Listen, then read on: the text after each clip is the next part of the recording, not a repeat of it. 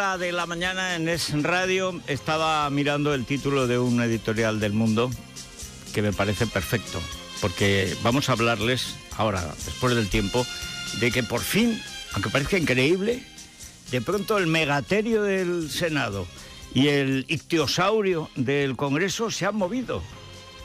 Lentamente, ¿verdad? Porque hablamos del megaterio, o sea, unos animales enormes. Eh, gansos, condenados a morir, porque con ese peso donde vas, en fin. Pero se ha movido y va a defender la democracia de la que viven y cómo viven opíparamente senadores y diputados. Pero, dice el editorial del mundo, defender la ley allí, a propósito de las presiones de la dictadura nacionalista, y aplicarla aquí. O sea, en Estonia, en Letonia y en Lituania, muy bien, defendamos a España, pero eh, donde más hay que defender a España es en España. Ahora vamos con ello, pero lo primero, ¿cómo está el tiempo? Pues siguen las tormentas en la parte occidental de la península, sobre todo, algo menos ya en Canarias, ya hemos pasado las calimas estas eh, saharianas, pero las temperaturas siguen subiendo, sobre todo ahora en el norte. Ahora en Madrid tenemos 15 grados y nos vamos a ir a 26 grados. De nuevo, la máxima 29 grados en la tropical Orense, que llevaba un par de años sin conquistar las máximas. Aquellos valles tan bonitos, la Ribera Sacra. Qué calor cuando pega el calor. Bueno, pues ahora sí sale el vino. Bueno, 29 grados en Orense y la mínima 7 en Burgos. Bien, y vamos con Vanessa Vallecillo y Daniel Muñoz. Como les decía, el megaterio y el ictiosaurio, o si quieren el diplodocus y el triceratopus rex, lo que quieran, desde luego velociraptors no son. O sea, más lentos que el caballo del malo. Pero en fin, ahora, ahora, ahora, ¿eh? Ana Pastor en lugar de favorecer como de costumbre a Podemos y a los separatistas, que ha sido su tarea fundamental en lo que llevamos de legislatura, no he visto yo su misión mayor ni en los esclavos eh, cristianos en tiempos de Nerón, que iban cantando a que se los comieran los leones. Luego los leones se quejaban, eran democristianos, se los comían a ellos. Pero en fin, esto es un chiste viejo, pero que, dado los curas satánicos y obispos satánicos que tenemos, conviene actualizar.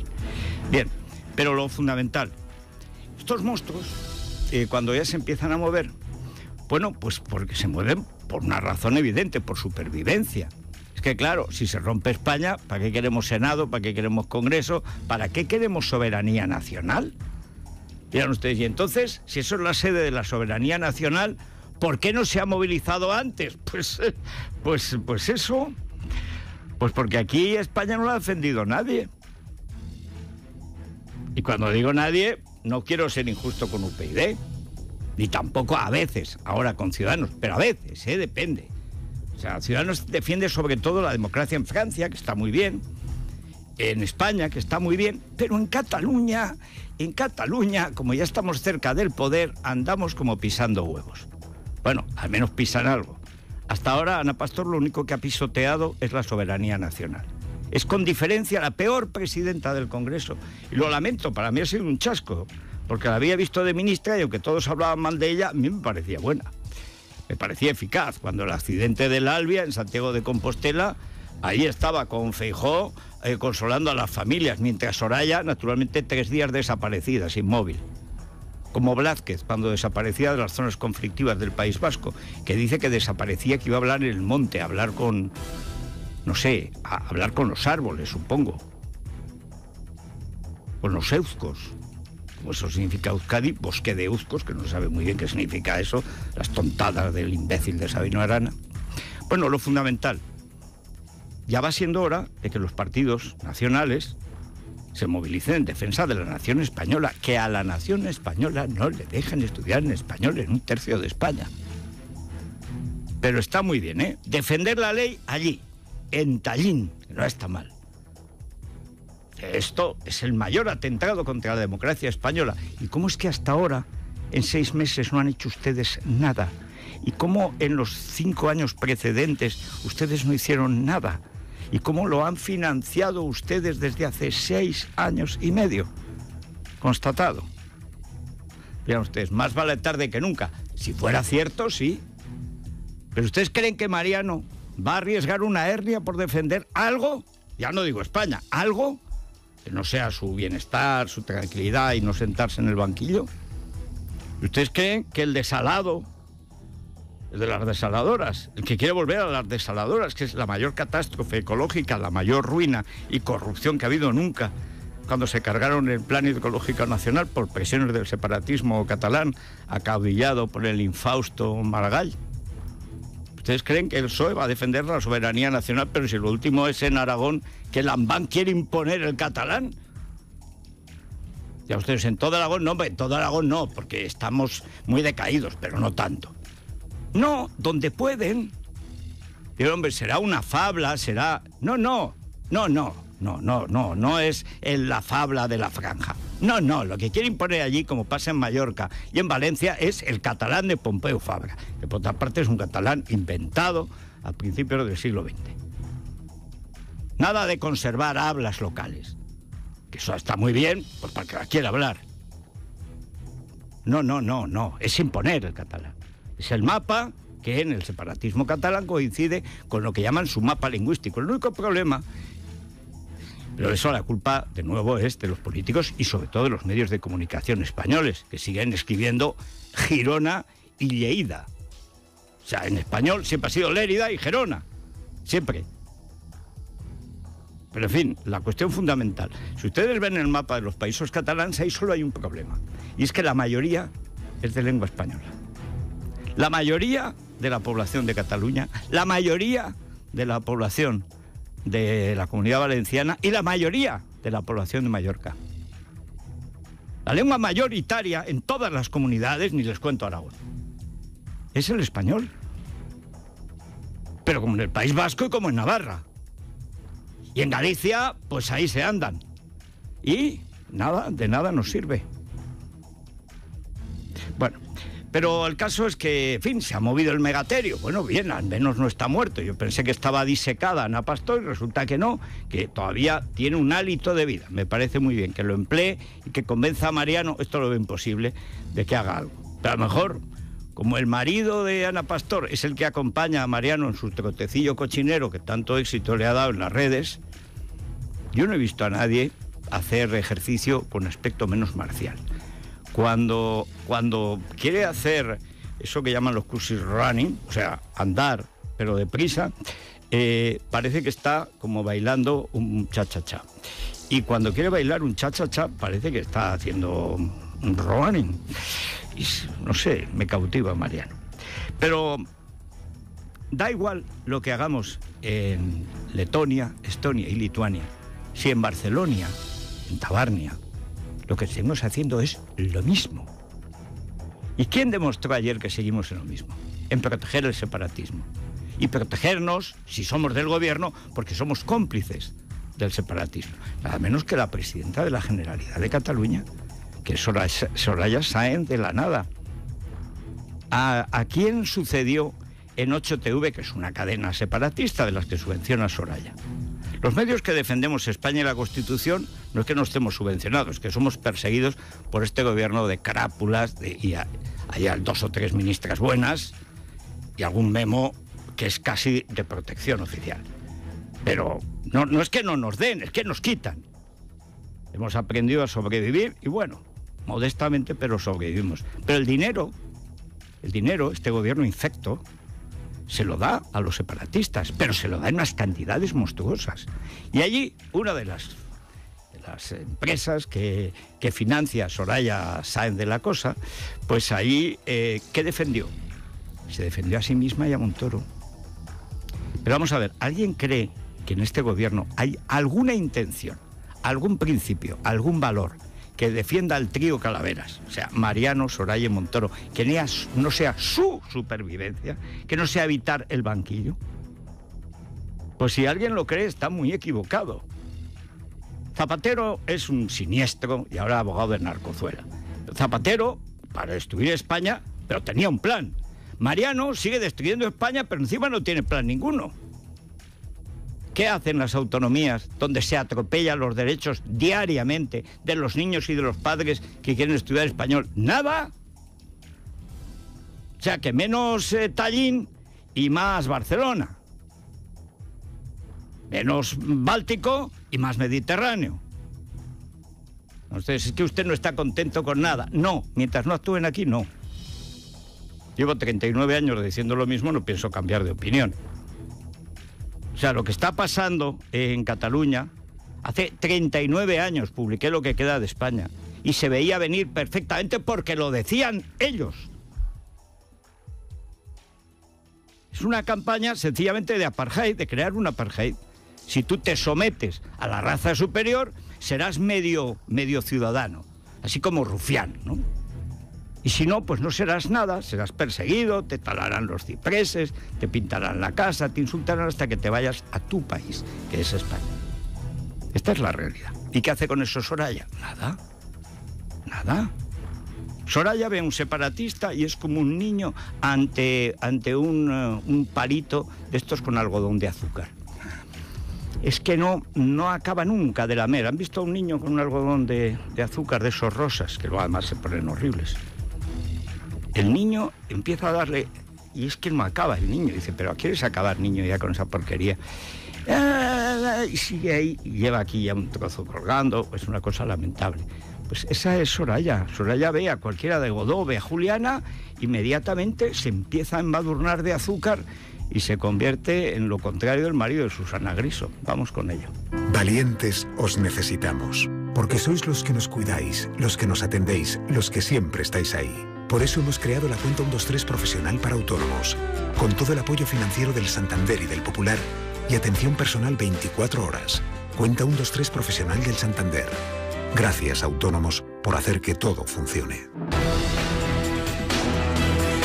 Ana Pastor y Pío García Escudero asumen ante la Unión Europea la defensa del Estado. Lo han hecho, según el diario El Mundo, por decisión propia durante la conferencia de presidentes de parlamentos de la Unión Europea, donde han alertado del efecto contagio que puede producirse si no se pone freno al nacionalismo. Esto mientras Rajoy se resiste a profundizar en la aplicación del 155, aunque hubiera elecciones, algo que San de Santa María ve improbable, dada la poca capacidad de organización que a su juicio tienen los independentistas. Así lo ha dicho esta noche en una entrevista en 8TV, en la que ha defendido la gestión de Montoro en la financiación del golpe. Son dos cosas diferentes. Una es la intervención de la Administración y de las cuentas y del presupuesto y otra cosa es que debajo de esa intervención, por falseamientos o por compromisos a los que no se dio la cobertura de una factura, puede haber esos pagos, que eso es lo que está investigando la justicia con colaboración de todo. Atención a la filósofa Sorayita, o sea, Sorayoteles. Dijo Soraya Teles, una cosa son los impuestos y otra cosa es cobrar impuestos. Dice así. ¿Cuál es la diferencia? Si hay impuestos, es que los tengo que pagar. Eh, no, no, no, no, porque dice Soraya Teles, o sea, no confundir con Hipatia, que una cosa es la intervención y otra cosa es que le cuelen facturas. Dice, bueno, pero eso es pagar impuestos. Claro, la Hacienda está para que no te cuelen facturas. Es más, no se dedica a otra cosa. Yo recuerdo a Montoro insultando, no digo por orden alfabético, a los periodistas, a los escritores, a los titiriteros, a los políticos de oposición, a las asociaciones profesionales, a los grupos de opinión, a los partidos políticos, a los medios de comunicación. Montoro ha insultado a todo el mundo. Ha filtrado declaraciones sobre todos sus compañeros de partido. Ha protegido a Monedero. Sigue protegiendo a Podemos, que sigue siendo un protectorado de la banda del tío Calaveras. Que sigue siendo el protectorado, vean la sexta. Siguen confiando en Podemos para que Ciudadanos y, y el PSOE no lleguen y que si llega Ciudadanos no llegue el PSOE y esas cosas del trío.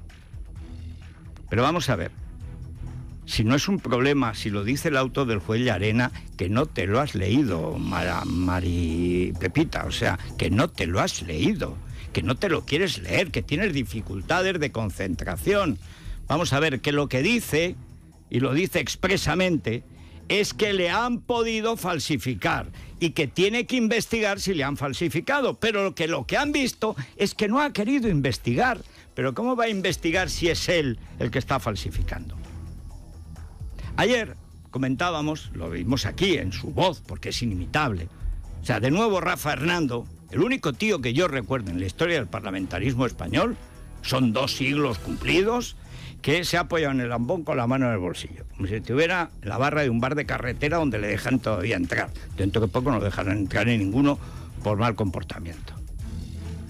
Decía Rafa Fernando, Montoro fue el primero en denunciar la malversación de fondos. Dice, pues entonces ahora porque se la niega no solamente al juez de arena, se la, se la entrega como ofrenda a los separatistas para que los alemanes no suelten a Cocomocho. Otro, otro sabio. O sea, ¿de dónde lo saca Mariano? Claro, para que no le hagan sombra, como es un tío inseguro, mediocre y malo, buscan los más tontos de cada promoción.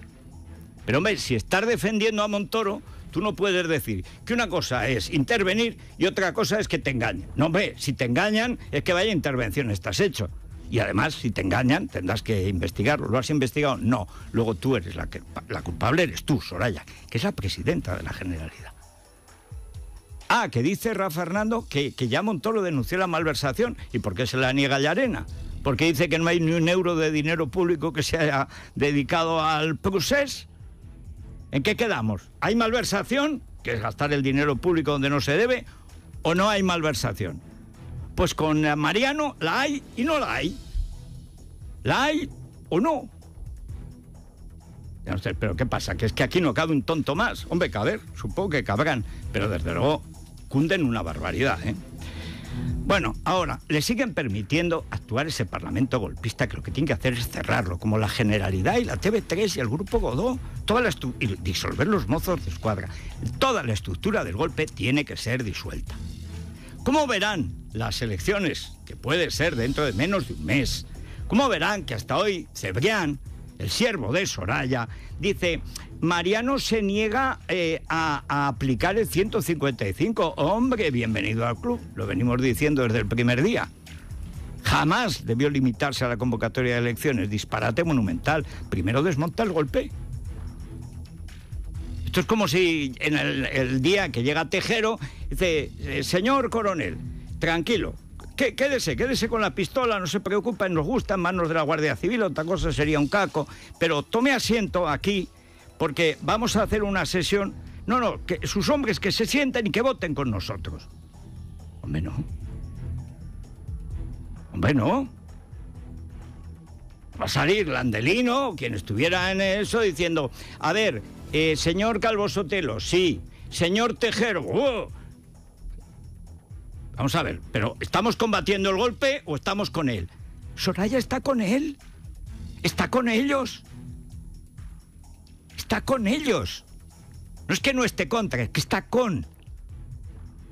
La prueba es que siguen permitiendo el funcionamiento de esa banda, porque esto es una banda.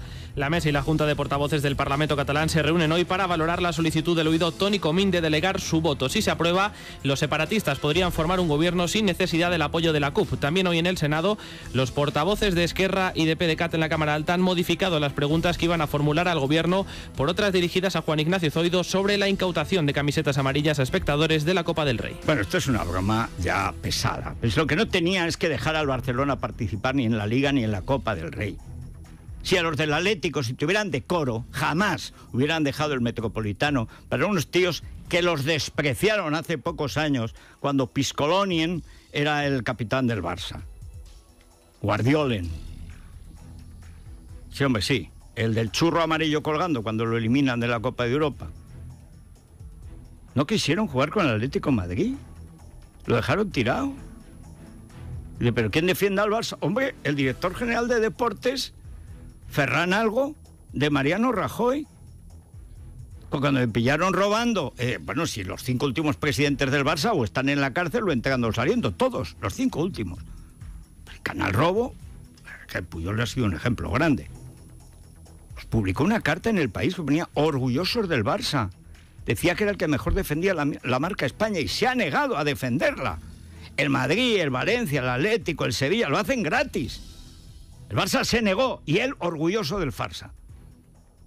Y también está orgulloso el ministro del Interior de lo que pasa en, en Cataluña, porque cada vez sabemos más cosas, mejor dicho, cada vez la gente habla más. Dos entidades a favor del bilingüismo, Asamblea por una Escuela Bilingüe e Impulso Ciudadano, llevan hoy a la Eurocámara la discriminación de los castellanohablantes en la escuela catalana. Actúa Baleares, la formación de Jorge Campos, estudia querellarse contra un profesor del Colegio La Salle de Palma por incitar al odio en las aulas y en las redes sociales. Esto después de que la Fiscalía se haya querellado contra nueve profesores por humillar a hijos de guardias civiles después del 1 de octubre. En la denuncia, el Servicio de Delitos de Odio del Ministerio Público les atribuye delitos contra los derechos de los menores, de discriminación y de injurias graves contra las fuerzas y cuerpos de seguridad. Acusa a los docentes de denigrar a los niños, avivando el clima de rechazo contra la Guardia Civil y señalando a los hijos de los agentes. Asegura que lo hacían siendo conscientes del menoscabo moral que esto suponía para los menores. Bueno, y para los mayores, porque se acosa a los hijos para echar a los padres.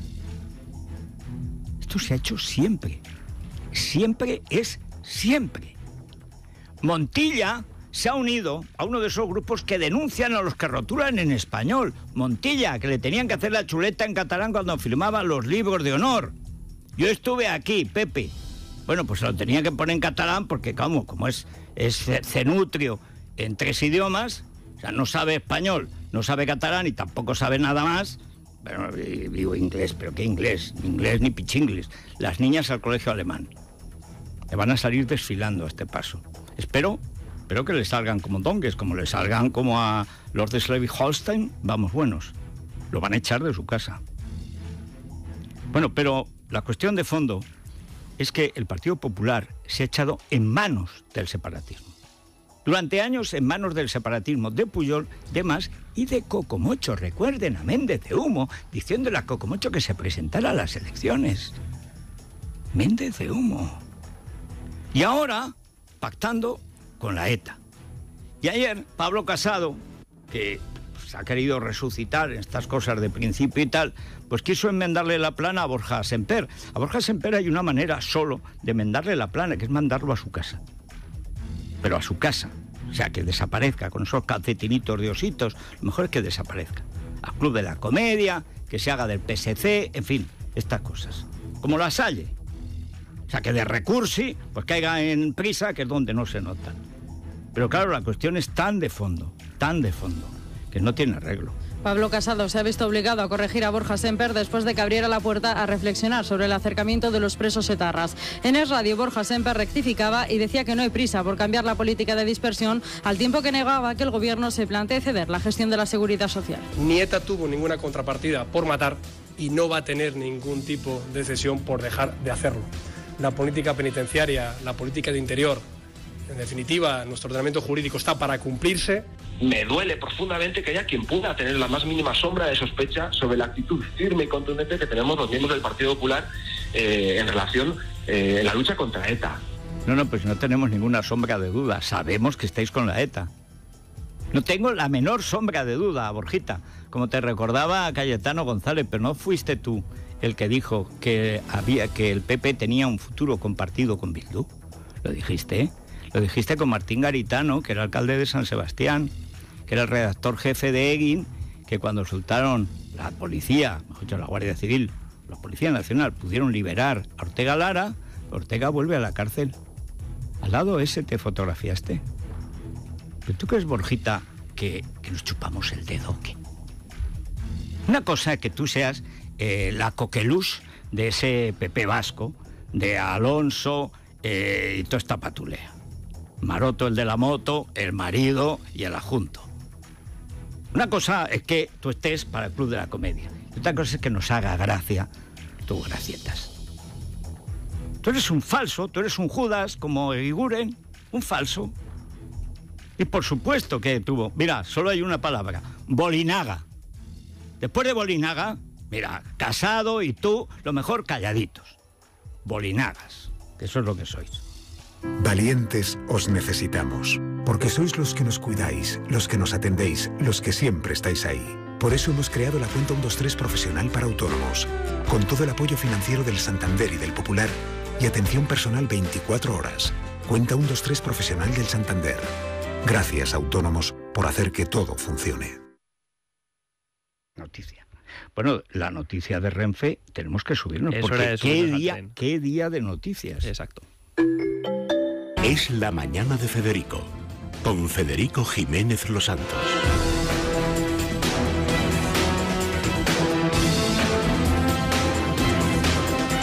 Seguimos con Silvia Ribeiro y Rubén Fernández. Una característica de todas las dictaduras, especialmente las comunistas, es cambiar el nombre de las cosas. Por eso es tan importante que cuando digan eh, y llueve en Gerona, digan en Gerona. Porque las cosas tienen un nombre en el idioma, en cada idioma. España, España es un país que tiene como lengua común el español desde hace siglos, desde hace muchos siglos. Siempre nació el castellano cuando era castellano, no español, es la lengua franca, no se llama por franco, se llama porque es la lengua común de todos los que hablaban todos los dialectos latinos en la península, que aquello era un guirigay, porque encima que tenían los moros, la reconquista, el follón, bueno, pues ya bastante tenían como para dar clase. Pero aún así se conservó. Había monjes no satánicos, San Isidoro de Sevilla, su laudes Hispanie, que es el primero que elogia a España. Hombre, dice que está, está mejor el clima, a lo mejor vamos a suponer que en esa época el clima era mejor y había más vegetación. Pero vamos, elogio a la patria, España. Ojo, ¿eh? estamos hablando entre el siglo VI y el VII. Ya ha corrido, da igual. El otro día, uh, Colau le quita una calle al almirante Cervera. Hoy publica en Libertad Digital Antonio Escotado un artículo antológico recordando quién fue el almirante Cervera y quiénes son los Cervera es el apellido seguramente más antiguo de Cataluña, de los más antiguos de España. Estaban con Carlo Magno cuando crearon la marca hispánica. Cataluña no era ni un ensueño de nadie. Cataluña no había existido nunca, existía Hispania. Cataluña no ha existido nunca. La tarraconense, eso de Cataluña es un invento posterior. Y la marca hispánica, que es para parar al Islam, en esta parte, que los Pirineos son bajos y es más fácil entrar, pues allí crean con unos. Y ahí aparece el primer Cervera. Estamos hablando de hace un milenio, ¿eh?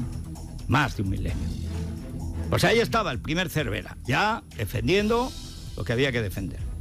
Y le quitan una calle porque dicen que es facha y murió mucho antes de que Mussolini llegara al poder, dejara el Partido Socialista e inventara el fascismo, que es el socialismo nacional. Para Hitler, nacional socialismo, que es lo mismo.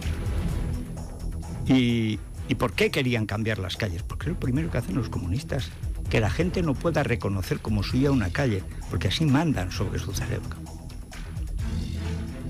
En mi libro del comunismo yo cuento que una de las cosas más impresionantes cuando se rebelan los marineros de Kronstadt, los primeros que se habían rebelado contra el zar hecho contra el gobierno provisional también, manejados por los bolcheviques, luego contra los bolcheviques y son masacrados por Trotsky y por Lenin. Hay uno que escribe en el periódico de la fábrica mientras están sitiados que lo peor de los comunistas es que quieren entrar en nuestras cabezas.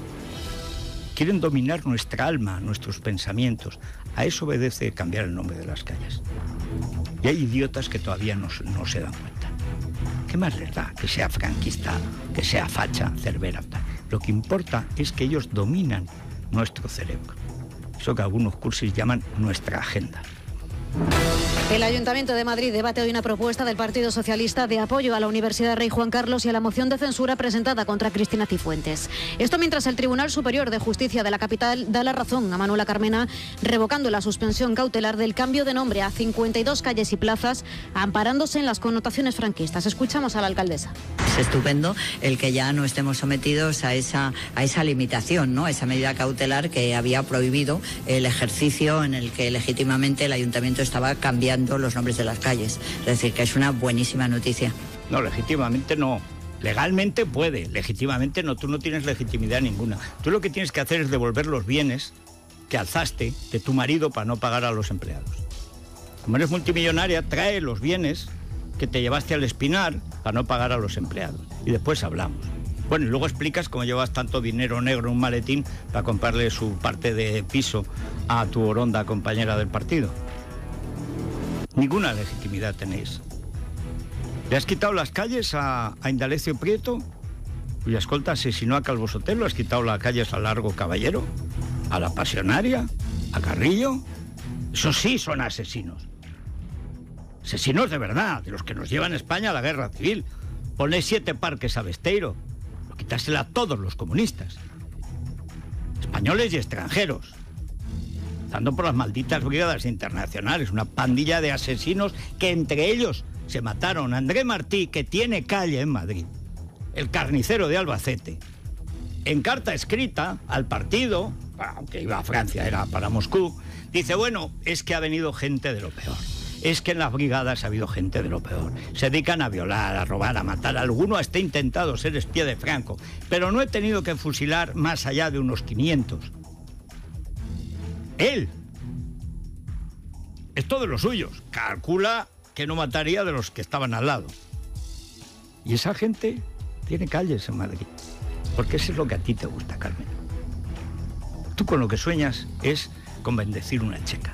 No dirigirla, lo tuyo es bendecirla. Es una cosa episcopal.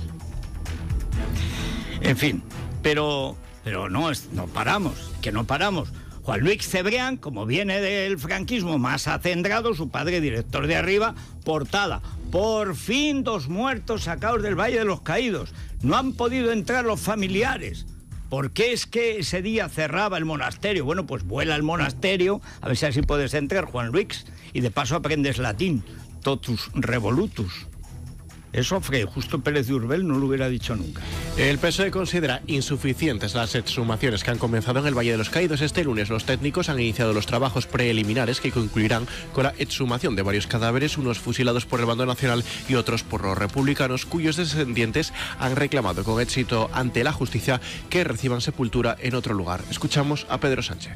Siempre hemos defendido la modificación de la ley de memoria histórica, entre otras cuestiones para que el Estado le ponga medios suficientes y se puedan producir las eh, localizaciones y las exhumaciones de los familiares de todavía muchas personas que por desgracia no saben dónde se encuentran los restos eh, de, sus familiares. Con lo cual creo que es una buena noticia pero que es insuficiente.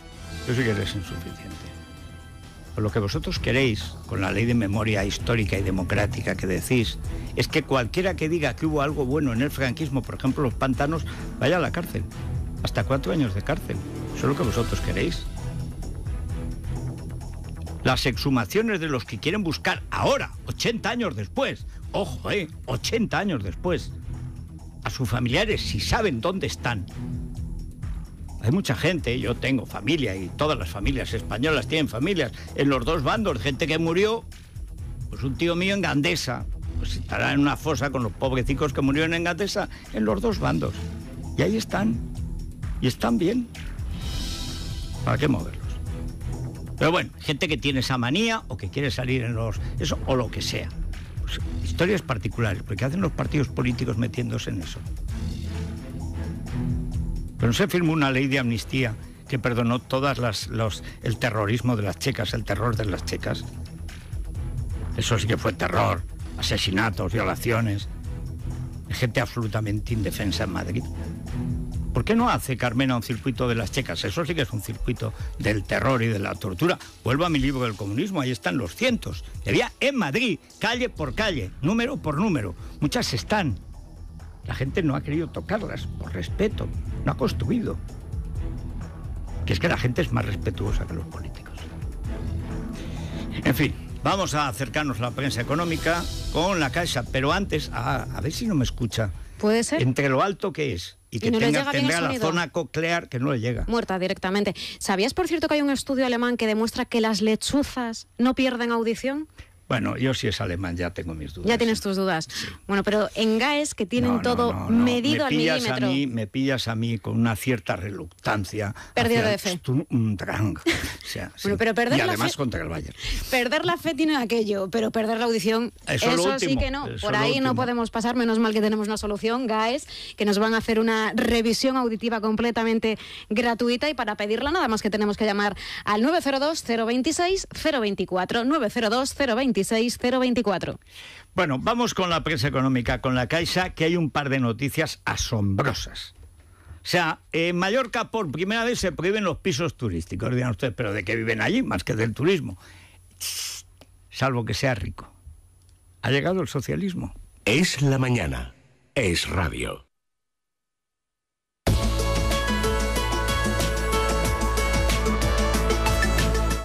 Cada vez queda menos para el Día de la Madre y este año queremos que sorprenda la suya con el regalo que lleva toda la vida esperando. Sí, el anillo, la joya emblemática de la casa, el anillo tiara real, con un quilate de diamantes.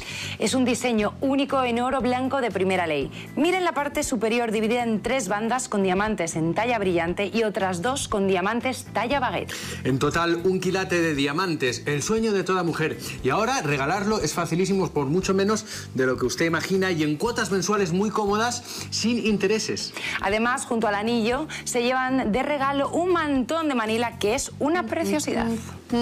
Infórmese sin compromiso sobre el anillo tiara real llamando al número que ven en pantalla o entrando en galeriadelcoleccionista.com. Y para que se olvide de las prisas de última hora, puede comprarlo ahora y tiene de plazo de evolución hasta después del Día de la Madre. Les dejamos ahora con el spot y muy pronto volvemos con más propuestas.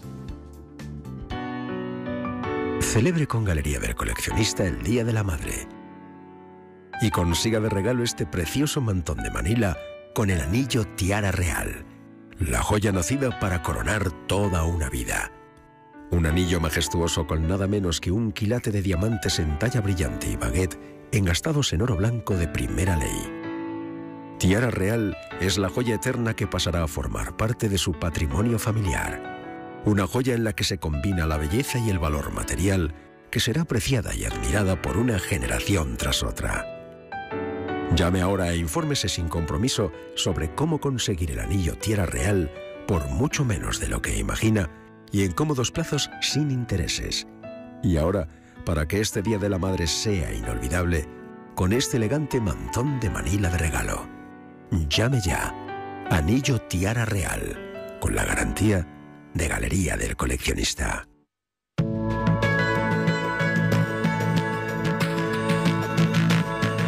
días, A ver, Federico. cuenta este informe del libre mercado, es fantástico. No, es esto- fan- Ha llegado el socialismo, Bueno. señores. Los ricos serán cada vez más ricos. Ahora los pobres se van a enterar. Sabes que eh, una de las eh, banderas que tiene la izquierda es acabar con los pisos turísticos, esa turismofobia, ese bueno, pues eh, de lo que de qué vive en Mallorca. Sí, entre pero hay- otras cosas. Pero hay un resentimiento, porque ahí sí que se ve la división de, de Tractoria y Palmarnia. Sí, hombre. Y, y allí eh, es- se da a muchos pueblos de España, eh, no solo tal. Odian al turismo, que es de lo que viven. Y bueno, ¿y por qué no haces tentas, arregla los pueblos como si fueran franceses? Los pone mejor y les subes, eh, les cobras más.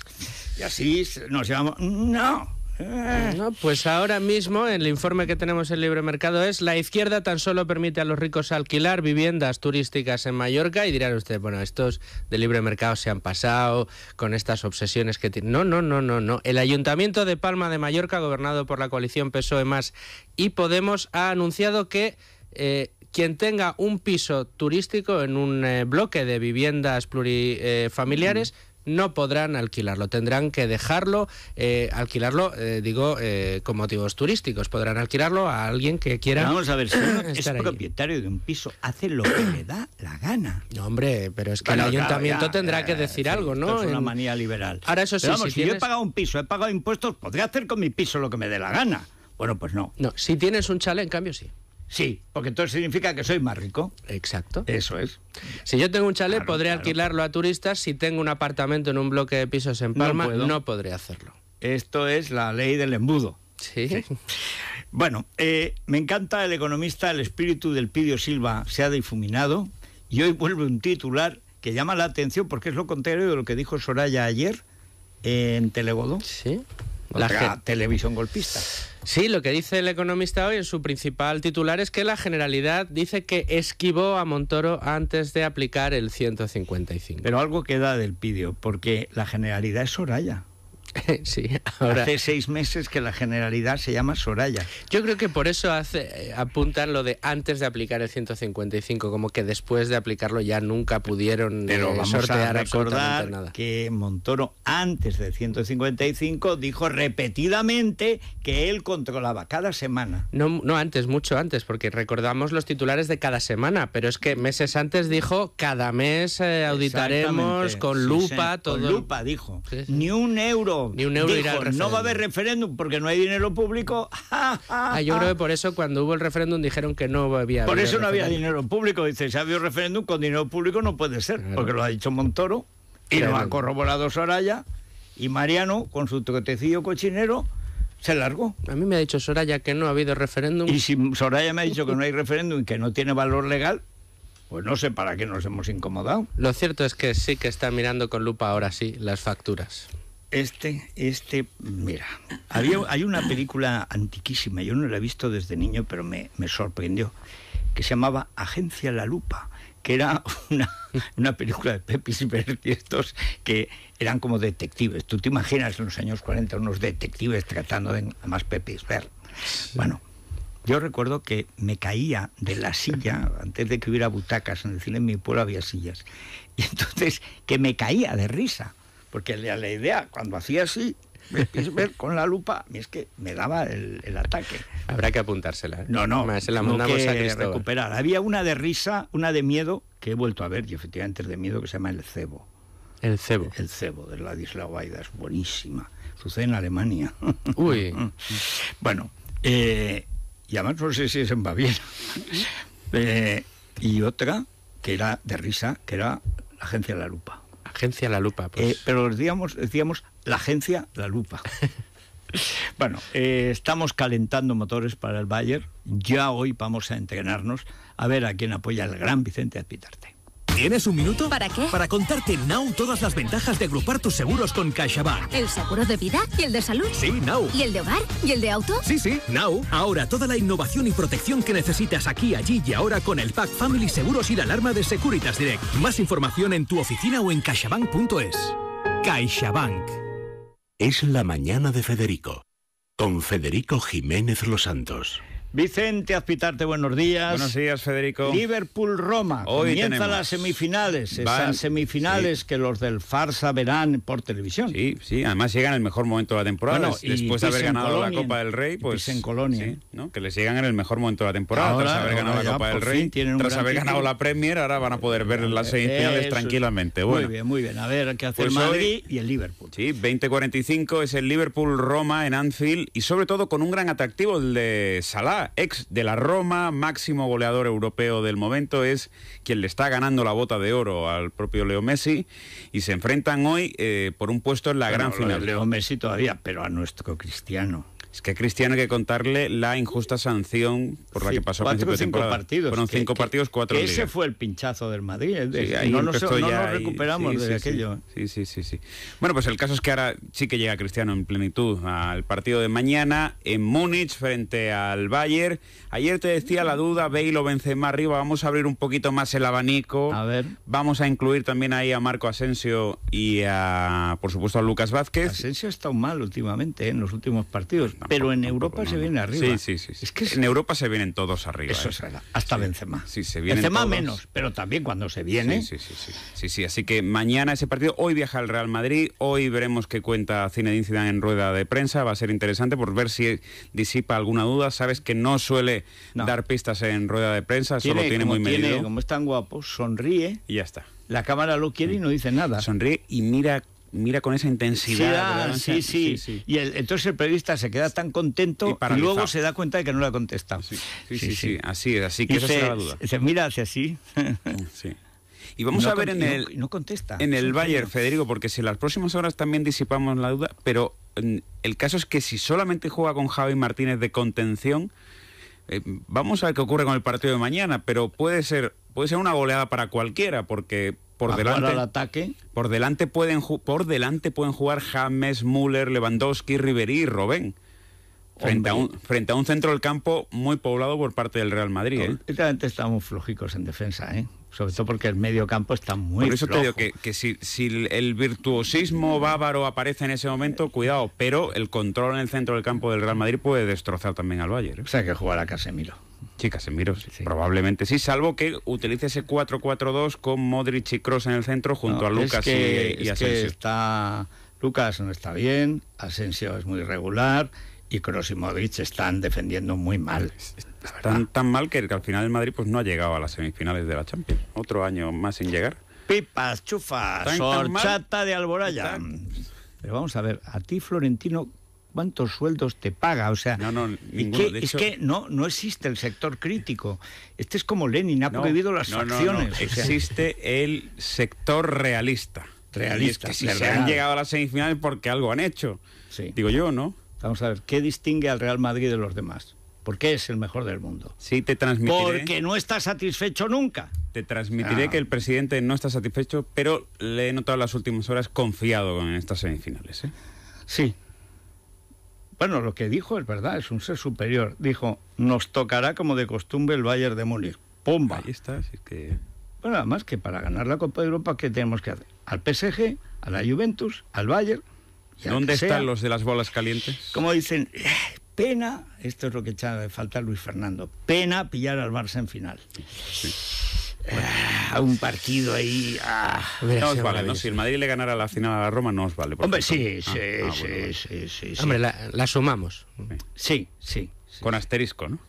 Eh, sí, bueno, ya veríamos. Do- 12 más 1. Es, es radio.